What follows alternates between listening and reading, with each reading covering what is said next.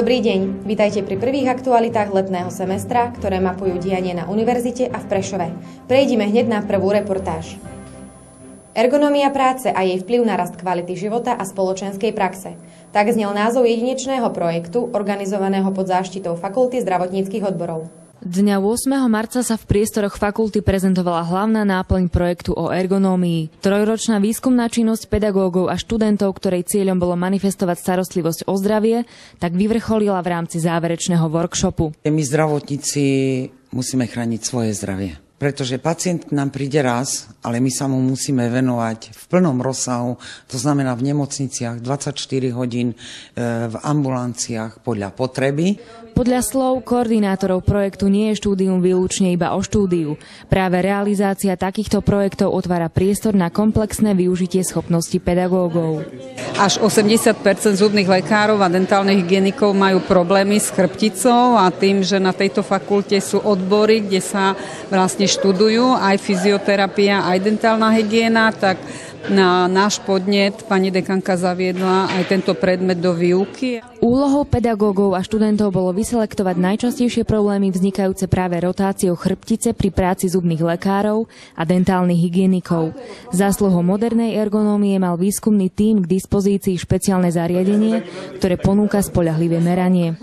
Výsledkom projektu bude navrhnúť a odporúčiť taký typ ergonomickej stoličky, ktorá zabráni vzniku poškodení chrbtice. Tá ergonomická stolička vlastne sa prispôsobuje každému tomu nášmu pohybu a tým, že je to naprogramované, kedy tam stolička má určitú pamäť a ona vlastne robí to, aby náš chrbát, ak sa zakrivíme, tak vlastne to vyrovná tým, že sa pohybuje tá stolička spolu s nami. Profesor Živčák, ktorý je dušou a telom projektu, poznamenal, že neexistuje pacient, ktorý by sa v ambulantnom kresle cítil príjemne. Napriek tomu ergonomické polohovacie kreslo umožní pacientovi a lekárovi náležitý komfort. Základom kvalitného ergonomického vyšetrenia je ergonomické kreslo, inštruktážna poloha, v ktorej sa ja ako pacientka nachádzam a táto motivačná príružka o správnej ústnej hygiene, pretože najväčšou prekážkou pri vyšetrení je strach z nepoznaného. Pre Mediálku TV Jana Klingová. Univerzitné pastoračné centrum v Prešove pri príležitosti 120. výročia od narodenia patrona tohto centra usporiadalo slávnostný večer. Počas neho bol mladým priblížený jeho život a osobnosť. Univerzitné pastoračné centrum v Prešove zorganizovalo v stredu 29. februára slávnostný večer s názvom Hesekovica, prostredníctvom ktorého si spomenulo na 120. výročie od narodenia jeho patróna. Doktor Štefan Hesek je patronom UPC od jeho vzniku, teda už necelých 10 rokov. Svojou osobnosťou je blízky nielen študentom, ale aj celej akademickej obci. Našou úlohou je strácať čas mladými a dneska ľudia nechcú strácať čas. Dneska stratia peniaze, stratia minútu, stratia knihu, notebook, oni stresujú, ale nám ide o to, aby sme nestratili väčnosť. Slavnostnú svetu omšu celebroval emeritný arcibiskup Monsignor Alois Tkáč. Po Svetej Omši nasledovala prednáška docenta Štefana Lenčiša, v ktorej bola mladým približená osobnosť Štefana Heseka získané vedomosti počas štúdií e, odovzdával iným. Za jeho účinkovania v Udavskom no, e, vyšlo asi 20 kňazov. Spomedzi nich vyšiel aj pán kardinál Tomko. Mladých, ktorí sa zúčastňujú aktivít UPC, sme sa opýtali, prečo UPC navštevujú a čo sa im na jeho činnosti páči. Je to miesto, kde môžem rozvíjať svoj talent, takisto stretávam priateľov a hlavne môžem svoj duchovný život vylepšiť a približiť bližšie k Bohu. Mám tu kopec, poznám kopec ľudí a skvelé, skvelé akcie tu sú, alebo výlety a v podstate spoločenstvo, ktoré tvoríme. Sú tam veľmi zaujímaví ľudia, veľa dobrých aktivít, omše a tak ďalej. No a čo by na záver popriali UPC pri tomto peknom výročí hostia tohto slávnostného večera? UPC, vývad, kreskat, floreat. Nech žije, nech zrastá, a nech prekvitá. Prajem PC nie veľa zdravia, jedno zdravie a poriadne. To znamená, aby žilo než 120 rokov, ale aby PC prečo prežilo tretie tisícročie. A prežije, určite. Želám im maximálne veľa, veľa rokov, veľa úspechov v ich práci. Pre Mediálku TV Alžbeta Vargová. Program Erasmus je určený všetkým slovenským aj zahraničným študentom. Naša škola nie je výnimkou a každoročne umožňuje výmenný pobyt žiakom z rôznych kútov sveta. Aj tento semester Prešovská univerzita privítala niekoľko nových zahraničných študentov. Uvítanie zahraničných študentov sa konalo prvý týždeň nového semestra. O toto veľkám stretnutie sa postarala prorektorka pre vonkajšie vzťahy Jana Cimermanová. Spolu s ďalšou organizátorkou magisterkou Erikou Malou srdečne privítali Erasmákov, ktorí si od semestra stráveného na našej univerzite určite veľa sľubujú. Študenti majú dané podmienky, ktoré musia splniť. To znamená, že musia normálne ako aj slovenskí študenti navštevovať všetky predmety, robiť skúšky, zápočty, písomky, získať určitý počet kreditov, ktorý je daných inštitúciou. Sálu rektorátu zaplnili tváre žiakov z najrôznejších krajín. Tento semester prišli študenti z Norska, z Lotyšska, z Rumunska, z Bulharska, máme tu Španielov, ktorí ostali ešte z minulého semestra, taktiež pre Turkov sme veľmi populárni, Poliaci tiež a mnohí ďalší. Mohli sa dozvedieť zaujímavosti o univerzite, ostatných študentoch a spôsobe výučby, ktorá ich počas semestra čaká. Ponúkame vlastne našim študentom nie len um, oficiálne, ale aj neoficiálne programy, čiže párty, akcie, spoznávanie Prešova a iných miest alebo um, štátov dokonca. Programu Erasmus sa môže zúčastniť študent denného štúdia s angličtinou na veľmi dobrej úrovni a vynikajúcimi študijnými výsledkami. Štúdium v zahraničí prináša mnohé poznatky a výhody. Žiaci nadobudnú pocit samostatnosti a mnohí si vytvoria priateľstvá na celý život. I expect a lot of practical things, a lot of fresh air, a lot of going outside, a lot of nature. I expect a lot of music. Uh, we also maybe we'll make some band and those will be the dancers. Yes, a lots of fun. I expect also a good friends from Slovakia. Yes uh, study, uh, go to the party, visit other country. Uh, I don't know. I, I don't know how how many time free I I will have.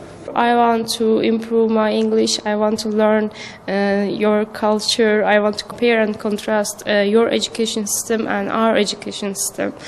Remedial TV, Kristýna Vagadajová. 14. február sa tradične niesol v duchu Sviatku svätého Valentína. Pri tejto príležitosti sa Prešovčania už po piatýkrát stretli na námestí a spoločne vyznali lásku nielen mestu, ale aj jeden druhému. Mesto Prešov v spolupráci s Rádiom Prešov, PKO a Prešovskou univerzitou ani tento rok nesklamali a priniesli jedno z najobľúbenejších podujatí v Prešove pod názvom Prešov Láska moja. Tento ročník je výnimočný tým, že Prešovčania sa pokusili o rekord a to v synchronizovanom bosku v náručí, kedy našim cieľom bolo sromaždiť čo najviac zamilovaných párov, ktorí sa poboskajú v jeden okamih. Zamilované dvojice si mohli slúbiť väčšinu lásku priamo pri legendárnom svietiacom srdci. Nechýbala ani dvojmetrová torta, sladké drinky či objatia zadarmo. Organizuje mesto v spolupráci s Mládežnickým parlamentom Prešov, ktorý má na starost práve tieto objatia zdarma, ktoré rozdávame my. Program bol sprevádzaný moderátormi z Rádia Prešov, ktorí v priebehu dňa vyhlásili aj výsledky dvoch valentínskych ankiet.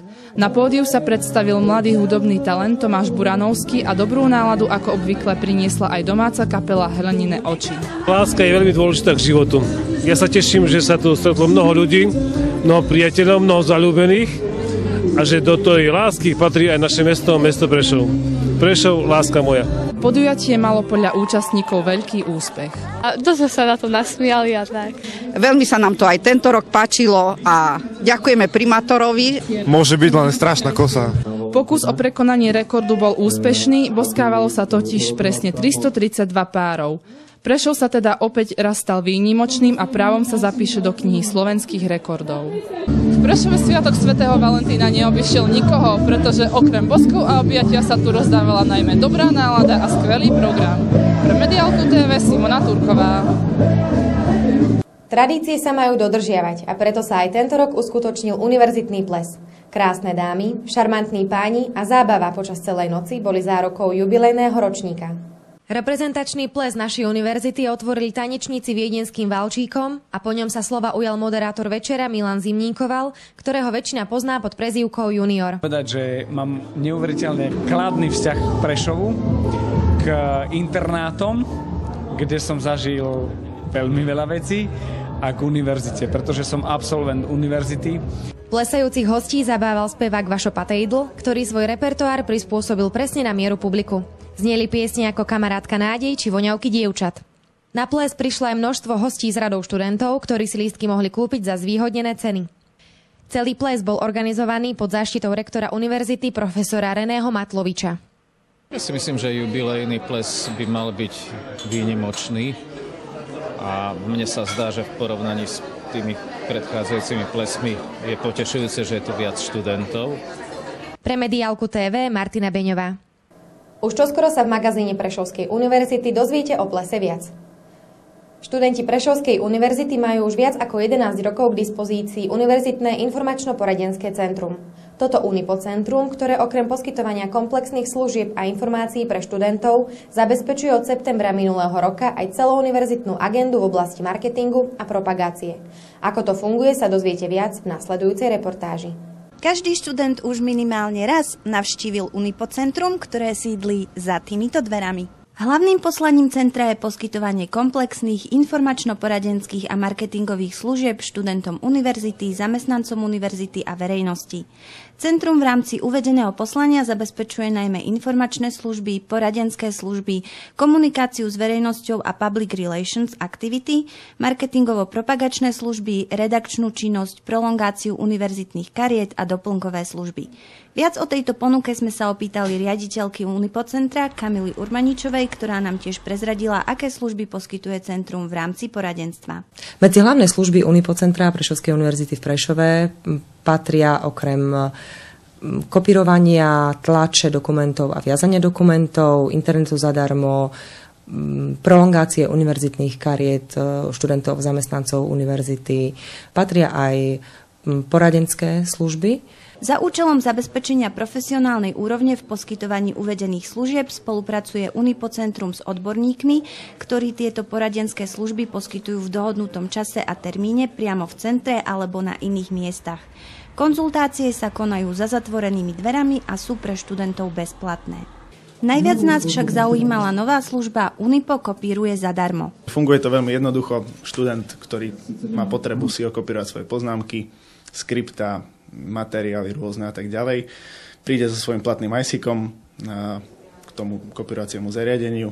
Pracovník pri tom stroji mu okopíruje tie dané materiály, ktoré potrebuje. Ide, ide to iba o kopírovanie, čiže žiadna tlač, skeny. Centrum koordinuje a zabezpečuje vzájomné vnútorné informačné prepojenie univerzitných pracovísk s verejnosťou a médiami a vnútornými informačnými a mediálnymi prostriedkami, ako sú elektronické informačné tabule, LCD panely, web. Oddelenie propagácie a marketingu Prešovskej univerzity v Prešove taktiež spravuje elektronickú predajňu, ako aj kamennú predajňu Uniposhop. V rámci redakčnej činnosti Centrum zabezpečuje koordináciu činností pri príprave, tvorbe a vydávaní časopisu Prešovskej univerzity v Prešove na Pulze a správe jeho elektronického informačného portálu, vrátanie komunikácie s prispievateľmi a redakčnou radou, ktorej členkami sú študentky masmediálnych štúdií.